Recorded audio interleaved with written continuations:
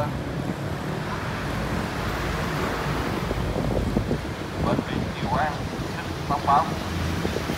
Bệnh viện sẽ tạm các bệnh nhân đến khám bệnh.